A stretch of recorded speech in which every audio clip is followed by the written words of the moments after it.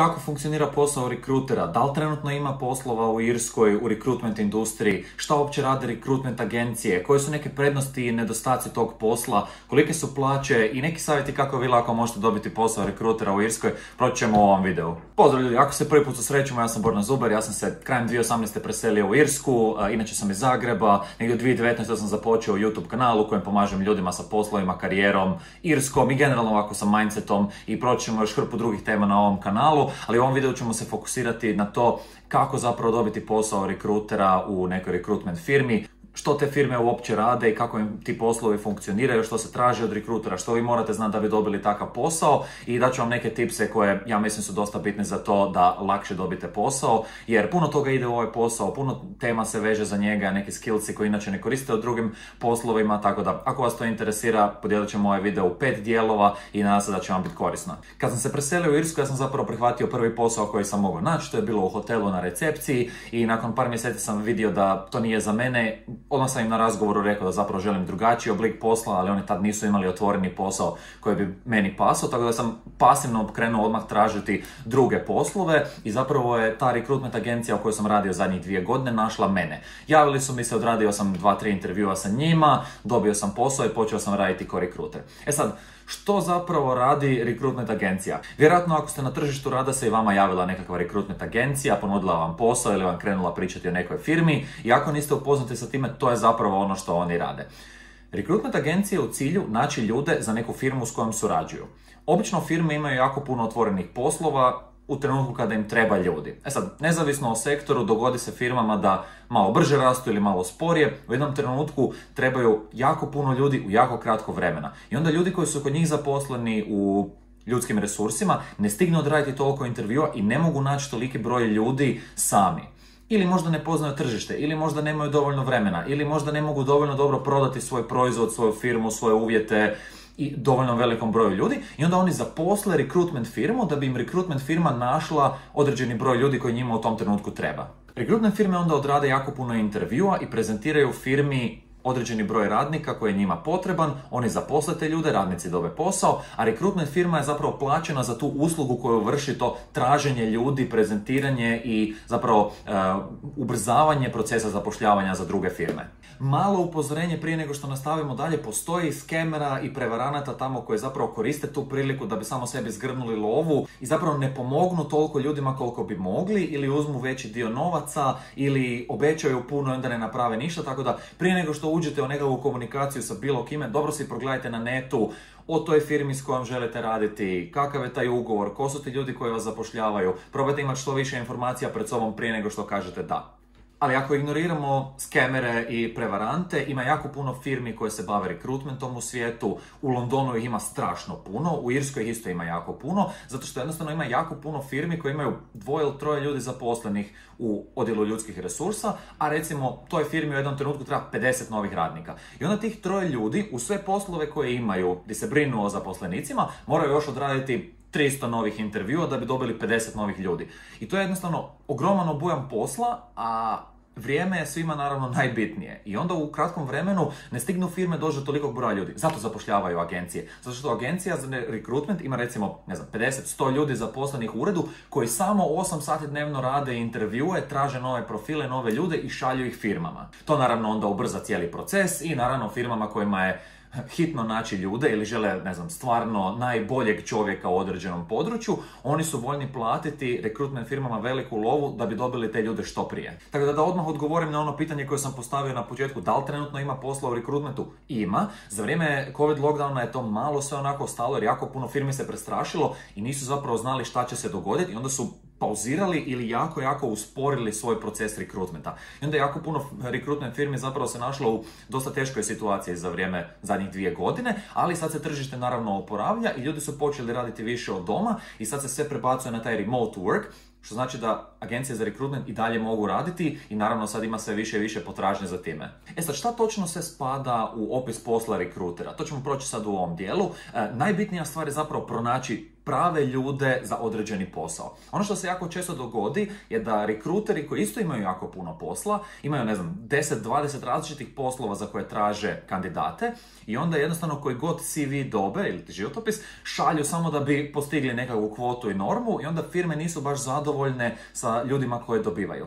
Najbitnija stvar u procesu rekrutmenta, ako ste vi rekruter, je naći pravu osobu za pravu firmu, za pravi posao kojeg nude. Neka firma može imati nekoliko sličnih poslova. I ako osoba ne paše tom profilu onako pravilno kako bi trebalo biti, vrlo vjerojatno će firma odbiti tu osobu i vi ste potrošili vrijeme, niste dobili potpisani ugovor na kraju i čovjek nije počeo raditi. Tako da ako ulazite u taj posao, pazite na detalje, dobro čitajte opise poslova, pitate za ekstra informacije od firmi da vam oni detaljno objasne kakvu točno osobu tražite i tu je jako bitno paziti na sve moguće detalje koje vam firma da, ne samo od opisa posla, nego točno kakav karakter te osobe mora biti, koje su nekakve vrline i mane koje treba imati ili izbjegavati. Probajte što više informacija skupiti o tome. E sad, kako rekruteri nađu uopće ljude? Pa ima jako puno načina. Prvo je, možete šetati ulicom i tražiti nekoga, ali naravno to bi vam trebalo jako puno vremena.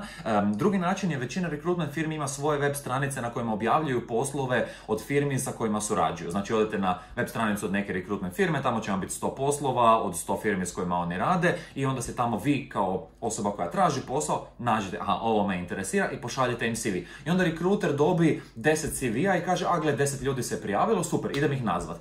To je jedan oblik u kojem je jako lako zapravo naći ljude kad ljudi dolaze k vama. Ali u jako puno slučajeva se to ne događa, nego vi morate tražiti ljude i nagovoriti ih da prihvate novi posao.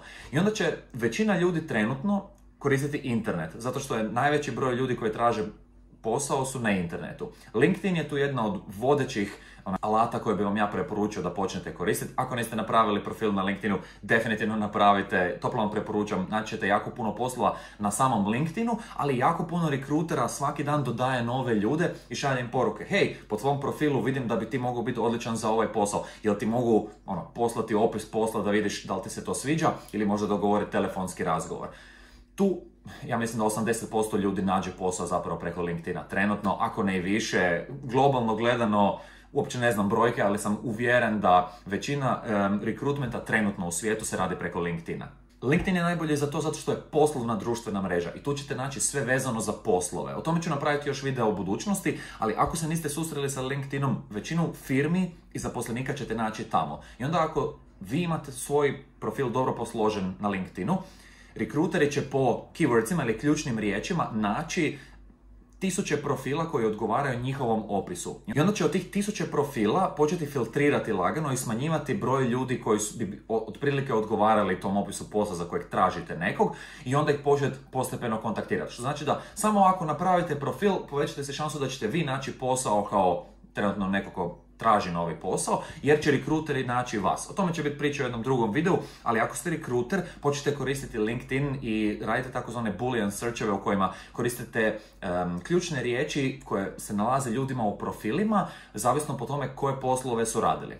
LinkedIn naravno nije jedina društvena mreža koju možete koristiti za traženje poslova. Sad već ima ljudi posvuda, Facebook se i dalje koristi za to. Ako vas neko na Facebooku doda i kaže da ima posla za vas, može proći. Twitter je jedna od društvenih mreža koje se dalje za to koristi, pogotovo u IT sektoru. Ja sam primijetio da na Facebooku u grupama recimo e, to puno, puno bolje funkcionira jer ljudi koji su zainteresirani za određenu ajmo reći, branšu, će biti zainteresirani za određenu grupu i temu i tamo ako postavite oglas za posao ili se javite nekome, već je vjerojatno da će neko biti zainteresiran za to.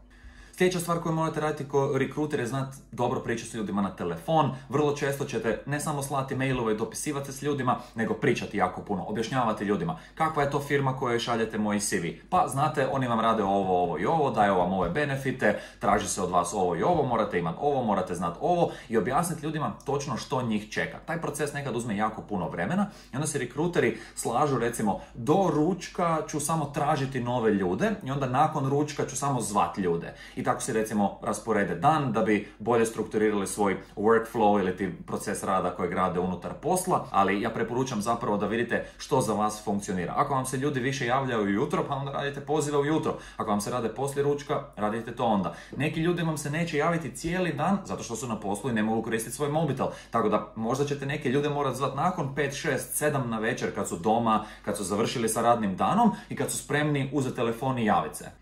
Nakon što ste odradili intervju, osoba vam kaže super, meni se ovo sviđa, interesira me ta firma, molim vas pošaljite moj CV firmi. Vi onda kažete super, pregledate naravno CV, ako je u dobrom stanju, onda ga možete poslati, ali jako često se dogodi da ljudi nemaju dobro uređen CV i o tome ću sigurno napraviti jedan onako detaljan video kako da si dobro uredite svoj eh, CV, da ga pošaljete u neku firmu, jer jako puno firmi dobije recimo 20 životopisa, otvori ih i onda ako vaše izgleda loše, neće vas ni pozvati na razgovor, tako da poradite na CV-ima. Neki rekruteri, ako im je baš stalo, ako baš imaju vremena i ako baš žele da vi dobite posao, onda će vam oni možda napraviti vaš CV.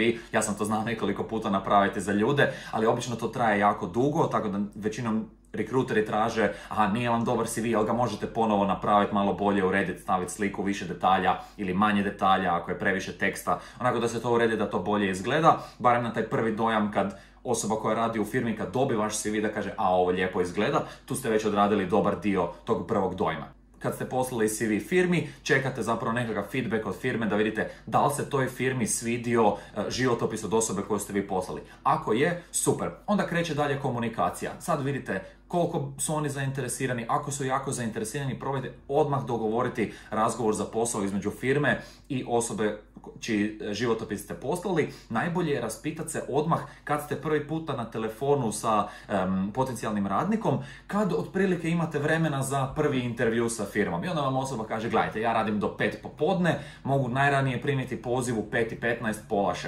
Super, tu informaciju si zapamtite ili zapišete negdje i onda kad vam firma kaže, a ovaj radnik nam se sviđa, dajte nam dogovorite intervju za posao, vi onda kažete može, evo vrlo vjerojatno će moći sutra recimo u pola šest, ako imate tad vremena, ja ću vam dogovoriti intervju. Firma kaže može, vi još jedan put nazovete radnika, provjerite s njim, on kaže može, spojite ih i tu ste odradili zapravo većinu rekrutment procesa.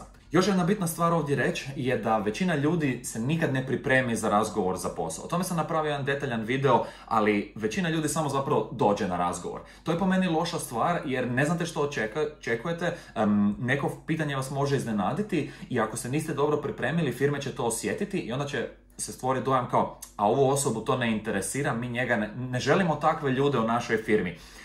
Što vi morate napraviti prije je uzeti si vremena, barem sat vremena, da proučite malo firmu i pogledajte si šta bi vas firma mogla pitati, šta bi moglo biti interesantno za taj posao, šta bi vi rekli na neka pitanja koja se često postavljaju na intervju i to će vas puno bolje pripremiti i onda ćete puno bolje odraditi intervju.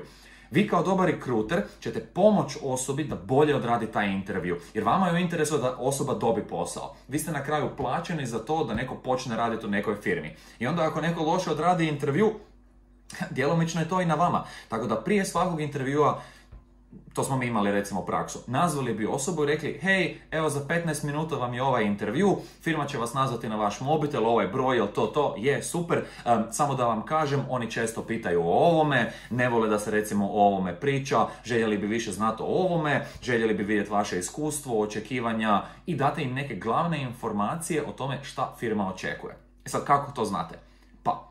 Na početku kad ste ušli u suradnju sa nekom firmom s kojom koje ćete vi slati životopise, pitajte ih što očekujete od radnika, kako izgleda prvi intervju, što osoba mora znat, reći, mislit, kakvi moraju biti da bi vi prihvatili tu osobu. To vam kao prvo pomogne smanjiti search, da imate manje ljudi s kojima morate odraditi razgovor i znate bolje pripremiti osobu za intervju. I onda će osoba biti spremna, reći će stvari koje mora reći, koje se traže od njih, neće napraviti toliko puno grešaka i vi ste zapravo povećali M radniku šanse da dobije posao, M ste firmi olakšali cijeli proces i skratili ga maksimalno, da oni ne moraju sad intervjuirati još 10 ljudi, nego da nađu pravu osobu brže. Još jedan bitan dio cijelog rekrutment procesa je zapravo pratiti cijeli rekrutment proces i sa jedne i sa druge strane. Većina firmi neće zaposliti osobu nakon samo jednog telefonskog razgovora, nego će ih pozvati kod sebe u ured na drugi razgovor, pa će onda za tjedan, dva, nakon što porazgovaraju sa direktorom, ljudskim resursima, voditeljem odjela, reći aha, ovih pet ljudi od ovih 20 nam se najviše sviđalo, ajmo njih pozvati na treći krug razgovora. I onda ćete zapravo kroz mjesec dana raditi rekrutment proces za jednu osobu. Prvi tjedan, ajmo reći, vam treba da nađete osobu, drugi tjedan su ti početni razgovori, treći tjedan, ajmo reći da se odradi jedan ili dva intervjua i onda se u zadnjem tjednu potpiše ugovor i osoba počne raditi ili odmah ili za mjesec dana, zavisi uvjetima. Vama je tu glavni cilj cijeli taj proces držati pod kontrolom da sve prođe onako kako bi trebalo proći. Često se zna dogoditi da se firme ne javljaju, često se zna dogoditi da se kandidati ne javljaju i često se zna dogoditi da cijeli taj proces zna predugo trajati i onda ili jedna ili druga strana odustane, što je za vas kao rekrutera najgora moguća opcija, tako da vi želite biti u redovitom kontaktu i sa firmama i sa kandidatima kandidatima se javljate i kažete a dogovorili smo vam razgovor za sljedeći tjedan, bit će u toliko i toliko sati, rekli su da ste super, svidjelo im se ovo, poradite još na ovome, na sljedećem razgovoru će vas pitati to je to. I onda ih nazovete dan prije, a sutra vam je razgovor, jeste spremni, jeste si pogledali, pomognete im još malo, date im neke informacije, tako da jako puno komunikacije tu ima. I sa strane firme isto tako, a poslali smo vam ovih pet ljudi koji vam se najviše svidio, jel vam, aha ovo je tu, ok, šta još treba, jel želite još profila, jel želite neki njih maknut. Generalno vidjeti šta firma radi i kako ona diše u vezi tog prvog procesa kojeg ste odradili. Tako da vama je u cilju što više komunicirati sa jednom i sa drugom stranom, da to sve na kraju onako klikne i da osoba dobi posao. Na kraju, ako je sve dobro prošlo, potpiše se ugovor, radnik kaže može, ja prihvaćam ovaj posao, firma kaže može, ja prihvaćam ovog radnika, oni mu daju ugovor, čovjek potpiše ugovor i odredi se datum kad osoba počne raditi. Vi ste tu zapravo završili cijeli proces, tada vam je samo još bitno to da se jedna i druga strana potpiše i tad osoba počinje na određeni datum raditi i onda firma plati agenciji njihovu ili proviziju ili fiksnu svotu, zavisi kako je dogovoreno, to će vam agencija imati na različite načine ustrojeno.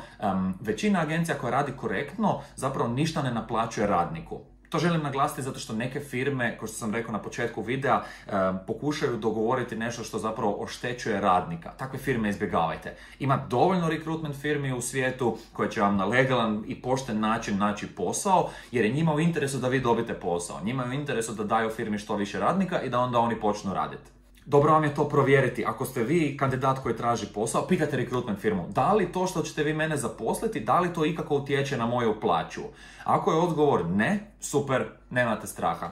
Još je dobro to imati u ugovoru, ali ako je odgovor da, možda znate, ne znam, to se onda jako, jako dobro raspitate, jer možda vam je onda situacija da uh, rekrutment firma uzima recimo dio vaše satnice ili na neki način vas oštećuje. Ja mislim da je to krivi način rada. Prava rekrutment agencija radi tako da se radniku ništa ne uzima, nego firma odvojeno od radnikove plaće plaća rekrutment firmi. Tako smo mi radili i super je funkcioniralo i većina normalnih firmi koja radi sa agencijama zna da to tako funkcionira i prihvaća te uvjete i ne želi radnika oštetiti ni na koji način, jer vidjet ćete svakoj firmi bi radnici trebali biti na prvom mjestu. Njima, su, njima je to resurs kojem zapravo pomože, pomaže da oni rastu i da uspiju kao firma. I zadnja stavka koja je relativno mala bila u mom poslu recruitmenta je bilo zapravo business development. O tom ću napraviti sljedeći video, ali u biti jedan sat dnevno smo izdvajali za to da nađemo nove firme. Znači ne samo radnike, ne njihove životopise i ono pomaganje sa cijelim procesom što sam naveo prije, nego naći novu firmu koja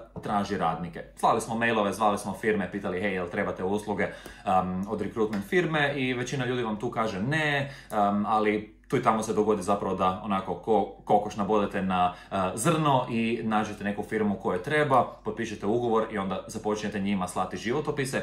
Super je stvar koju možete napraviti recimo po tome koji ljudi se vama javljaju kao rekruteru i kojih životopisa ste skupili najviše po tome naći firmu koja bi vama mogla biti interesantna. Naprimjer, ako se vama javlja jako puno programera ili jako puno skladištara, Vama je u interesu onda naći firme koja traže puno programera ili velike firme koje imaju velika skladišta u kojima traže puno skladištara i onda ako ta firma kaže da treba nam 10-20 ljudi, super, vi imate 50 životopisa već spremno od intervjua kojeg ste radili zadnjih dva mjeseca i vi možete ono ko karte u rukama doći i reći a super, evo imam vam pet ljudi već sad spremno, mogu vam srediti razgovor za posao kroz sljedećih par dana. To se firmama jako sviđa, vi onda tu pokažete da ste vi zapravo spremni i da nudite genijalnu uslugu. E sad, to treba malo da se uhodate, to vrlo vjerojatno nećete moći odmah, tako da ako se odlučite za recruitment karijeru, gradite ju postepeno i sigurno će vam se isplatiti dugoročno. Ali onda pitanje kako dobiti posao u recruitment industriji. Prvo, komunikacija, kao što ste čuli iz ovog primjera prije, je najbitnija. Vi ako dolazite na razgovor i želite se zaposliti kao rekruter, vi ako niste komunikativni na telefonu, vrlo vjerojatno će vam ljudi reći ne hvala. Zašto? Zato što cijeli dan ste na telefonu, mailovima, porukama i od vas se očekuje da dobro komunicirate sa ljudima. Druga stvar je pismenost, morate znati dobro napisati mail, ako neko ima problema sa životopisom, morate znati reći aha, ovo ne valja, ovo valja, morate znati jednostavno i taj pismeni dio, jako puno se gleda na to kakav vam je stav, kako se držite, kako ćete vi reprezentirati ovu firmu, da li ste pouzdani, da li ste točni, e, da li pazite na detalje i još jedna stvar koja je jako bitna po meni, a to je zapravo dosta teško odmjeriti e, na početnom razgovoru za posao, je zapravo kakvi ste vi s ljudima. Ja mislim da se to jako dobro pozna iz stava kojeg imate i iz prijašnjih primjera. Recimo, ako se nikad ne nasmijate, ako ste super ozbiljni, onako zatvoreni i pokažete po stavu da vas to ne interesira, vrlo vjerojatno ćete to prenijeti i na posao koji radite. Ako ste entuzijastični, smijete se, e, angažirani ste, motivirani, ljudima će se to svidjeti i onda će vam prije dati posao jer znaju da ćete vi tu energiju donijeti u posao i moći tako komunicirati sa ljudima, jer energija, je zarazna. Vi kad ste optimistični, ljudima se to svidi i onda puno lakše kažu da na nešto nego kad ste vi onako negativni. Tako da, pazite se na stav, kad idete na razgovor, dobro se pripremite, jer zamislite, ako želite biti osoba koja intervjuira ljude i radi rekrutment, vi morate znati kako rekrutment proces funkcionira, šta će vas pitati. Ima jako puno odličnih videa na netu gdje su ljudi objasnili procese od čak individualnih firmi kao šta ova firma traži za razgovor za posao. To obično radi za ove veće firme tipa Amazon, Google, Yahoo, Facebook gdje ljudi koji su dobili posao pričaju o tome kako su dobili posao, šta su ih pitali i koje su najbitnije stvari. Prije svakog intervjua si dobro proučite na internetu šta će vas pitati, šta se traži od vas. I jednu stvar koju vam ja osobno preporučam je imajte bilo kakvo iskustvo vezano od prije za taj posao. Znači ako ste radili u nekakvoj firmi, Svaki put kad ste pričali sa ljudima, svako iskustvo koje je vezano za ljudske resurse, svako iskustvo koje je vezano za rad sa ljudima, telefoni, komunikacija, bilo šta, će vam pomoći da dobite intervju, to jest da dobite posao, jer ste dokazali da već imate iskustva sa radom sa ljudima. To je jako, jako bitno u ovoj industriji, da vi znate pričati sa ljudima, da znate kako recimo okrenuti razgovor ako je neko ljut, kako ga smiriti, ako je neki problem, kako ga možda zaobići ili kako pokazati pozitivnu stranu nečega kako prezentirati firmu da ne zvuči kao, a joj samo još jedan od ponuda koje sam dobio taj mjesec, nego kao, u, ovo je stvarno super ponuda koju bi kandidat trebao prihvatiti. To ako možete, tu su vam šanse da prezentirate i da dobite uh, posao kojeg vi želite puno, puno veće.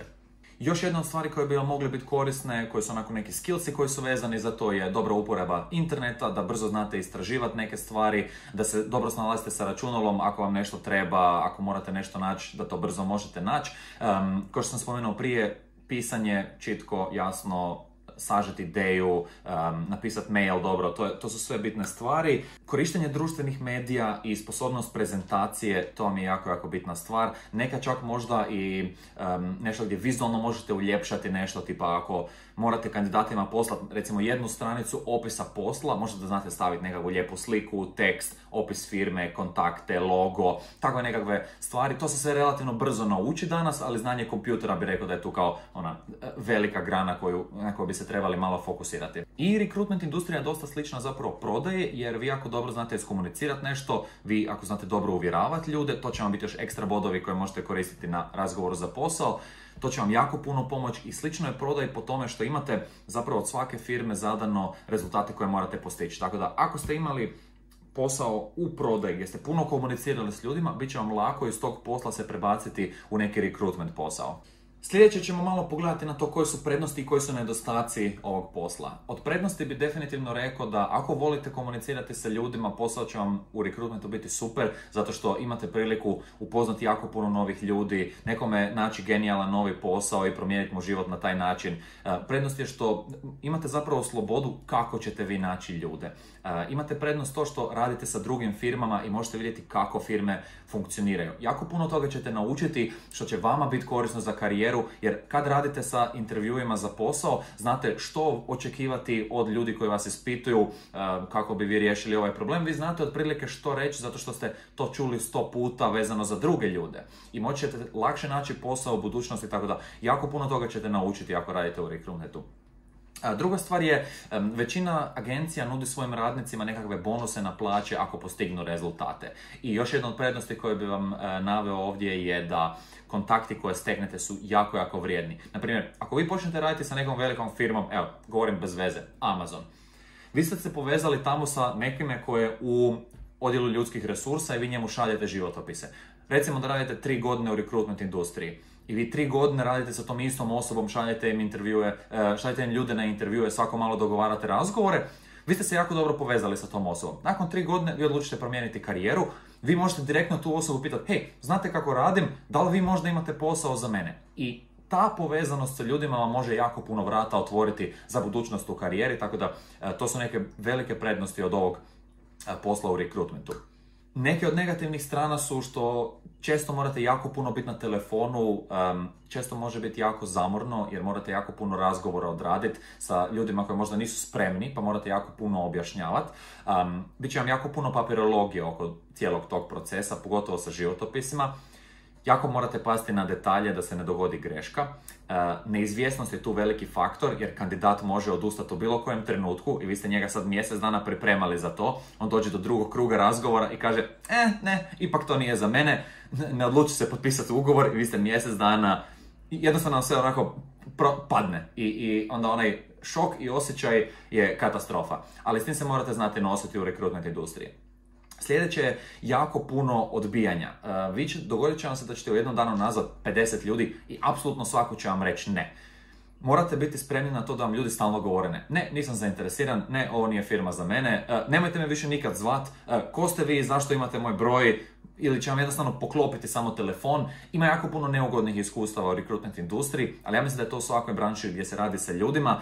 Budite spremni na taj veliku količinu odgovora ne, to ako možete pregrmiti, to će vas kao prvo onako ojačati, a drugo, um, otupit ćete malo na to da vam negativa dolazi prema vama i mislim da je to jedan od onako životnih skillsa koje treba imati, jer ko život će vam se sigurno dogoditi hrpa negativnih stvari, tako da ako malo ojačate i otupite na tu negativu koja vam dolazi, možete se puno lakše onako iz, iz negativnih situacija okrenuti prema pozitivnima. Često je tempo tu problem zato što morate u jednom danu odraditi 20 intervjua i posla 20 CV-a i još naći novu, novu firmu i još odraditi 20 mailova i e, 100 poruka, tako da često ljudi znaju raditi preko vremena u recruitment industriji. Tako da to je nešto s čim se morate nositi i često vam je dio posla izvan radnog vremena. Kao što sam rekao, neko radi do 6 na večer, vama je radno vrijeme do 5. Vi nećete propustiti priliku da nekome nađete posao i da se zaradite nešto ekstra love, nego ćete si uzeti vremena u sedam na večer i nazvat tog čovjeka, biti pol sata s njim na telefonu i to će vam se onda isplatiti. Jako puno rekrutera to radi, neki kažu da je to prednost jer kao možeš od bilo od kad raditi, a jako puno ljudi kaže da im je to veliki problem jer gube na svojoj privatnosti, ne mogu se odmoriti, tako da to zavisi kakva ste osoba, koliki vam je apetit za tim postizanjem ciljeva i koliko se zapravo s tim možete nositi. To je nešto jednostavno na što morate biti spremni u cijeloj toj priči. Ja vam preporučam da ako vam je problem puno raditi i izvan radnog vremena raditi, da to unaprijed iskomunicirate sa svojim šefovima, da se dogovorite oko toga kako će se to riješiti. Jer neka će ljudi inzistirati da ih se nazove izvan radnog vremena. Možda da si počnete dogovarati onda popodnevne smjene, pa da ujutro imate slobodno, pa da onda na večer možete zvati ljude, pa da vam je to onda fiksno radno vrijeme, jer jednostavno će tako nekad funkcionirati.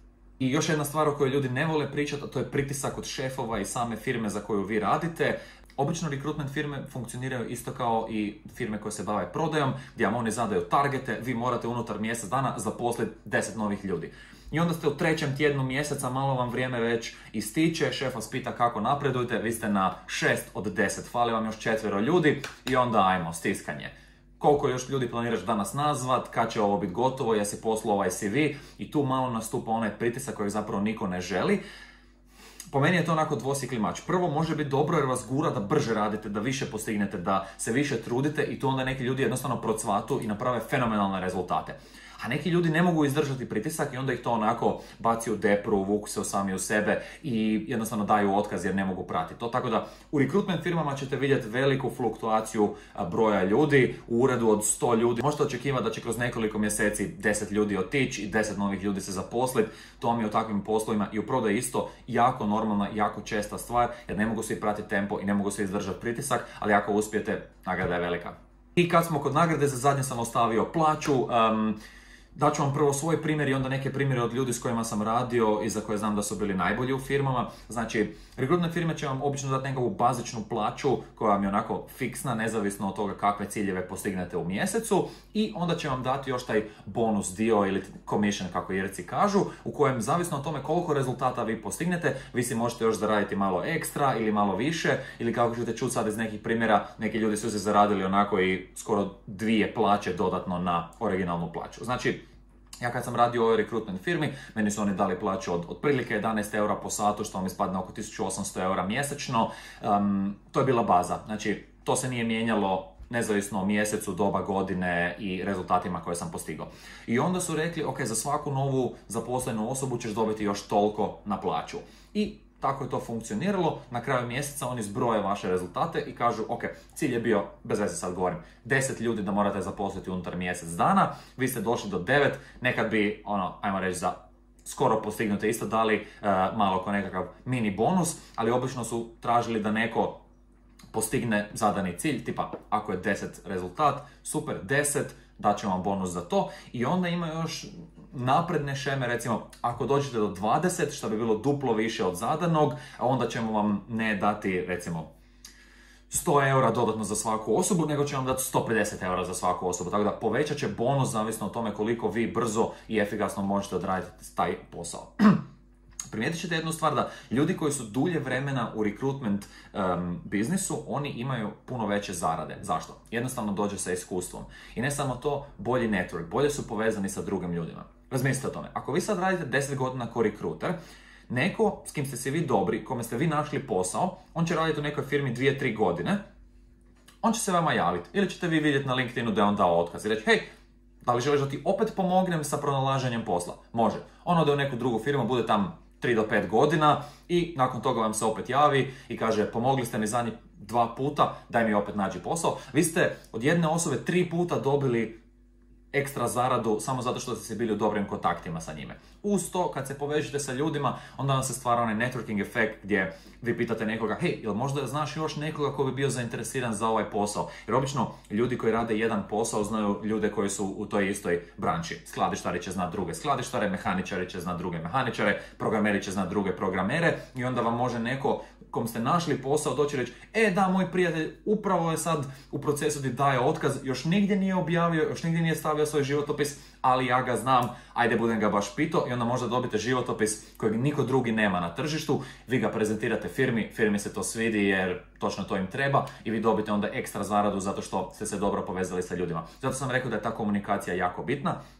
I, to se, I točno to se dogodilo mom kolegi s kojim sam između ostalog i snimio podcast. Čovjek radi ovaj posao već 8 godina. On se stvarno trudi oko toga. On vam recimo u 7 na večer kad je sve gotovo, on vam se onako relaksira uz računalo, nazove kandidata koji ima nekakvih pitanja, problema, nije si 100% siguran, on će s njim sat vremena sjediti na telefonu, objašnjavati mu sve u detalje, oni će si popiti pivo onako preko Zuma, pričati o životu, kupio sam novog psa, kak ti je cura i jednostavno toliko se sprijateljite da nakon recimo jedno pet takvih poziva ovaj čovjek osjeća da je on njegov najbolji prijatelj i normalno da će prihvatiti posao koji mu ovaj e, da, zato što ima osjećaj povjerenja.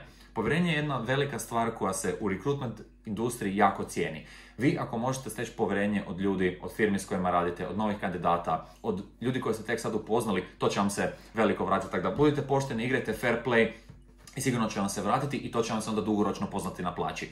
Jedno pravilo u rekrutmentu, to vam svi kažu kad počnete, je zapravo da u prvih godinu dana ne zarađujete ništa, jer ne znate kako funkcionira, ne znate firme, ne znate kandidate, ne znate šta valja, šta ne valja i onda vam treba tih početnih rekao bih 8 mjeseci gdje vam počne klikati onako, aha, ovaj profil je super, e, ovoj firmi će se ovo svidjeti, e, ova osoba točno paše ovom profilu i onda ćete negdje pred kraj godine tek početi ove e, bonuse zarađivati na plaću. Jednostavno trebate otući više vremena, malo se više potruditi, možda to skratite i ubrzate. Nekim ljudima se dogodi, evo recimo, cura koja je počela raditi u našem uredu, prvi telefonski poziv kojeg je odradila je bilo za ovaj business development, što sam bio rekao, ona je dobila ugovor sa firmom za osam novih radnih mjesta. Nekim ljudima je to skoro mjesečni target da dobe novu firmu sa osam radnih mjesta, zavisi kao kod koga, ali drugi kolega je odmah našao deset novih životopisa poslom, ja mislim da su četiri od njih odmah zaposlili, tako da njoj se poklopilo odmah. Nekim ljudima treba jako dugo. Sve zavisi o, malo je tu sreća isto faktor, ali ovaj posao, ako si date truda, ako se onako stvarno potrudite, može vam se jako dobro uh, vratiti nazad i poznat se financijski i dugoročno poznat na karijeri, što ja mislim da je još bolje jer možete onako dobiti skillse i znanja koja će vam biti korisna za cijeli život. I ako bi to sad sve trebao staviti u neki zaključak, ako ste komunikativna osoba koja voli raditi sa ljudima, koje pritisak i vrijeme i puno komuniciranja nije problem, ovo je definitivno posao za vas jer M se može dobro zaraditi, M se možete dobro povezati, naučiti jako puno toga korisnog. Ja bih vam preporučio rekrutment, jako je korisno baš sa te strane znanja. Ako vas samo lova interesira, možete se dati puno više truda i bit ćete nagrađeni za to. Tako da definitivno industrija na koju treba obratiti pažnju. Jako puno firmi se dogodi da iz nekog razloga im treba 100 ljudi danas i jednostavno ne mogu to naći ni jednostavno toliko puno intervjua odraditi i posla za agencije će po meni uvijek biti. Sad ima jako puno internet stranica i aplikacija koje mogu pomoći u tome, ali uvijek je tu taj ljudski faktor i ljudi vole komunicirati sa ljudima, vole to poverenje i to, e daj mi objasni, daj mi o... Zato i YouTube funkcionira, ljudi vole ljude, tako da ja mislim da će tu uvijek posla bit i preporučio bi vam um, posao u rekrutmentu kao smjer za karijeru ako želite isprobati nešto novo, ako se želite prebaciti negdje. Pazite se malo tih targeta jer o tome vam može ovisiti da li ćete dulje ostati u firmi ili kraće i generalno fair play, probajte naučiti što više. Ako vas interesira malo više o tome, ljudi definitivno subscribe na kanal jer bit će još priča o tome kako zapravo postići te neke rezultate, kako si naprijediti život, karijeru i to. Definitivno subscribe na kanal jer za vas je to besplatno, meni pomaže kao creator onako da unaprijedim sve i slijede dva videa u kojima možete još saznati o tome. Jedan će vam biti o tome kako dobiti posao u Irskoj, a drugi vam je kako se pripremiti za razgovor sve vezano za ovu temu. Nadam se da će vam se svidjeti ljudi, uživajte, puno uspjeha i vidimo se u sljedećem videu.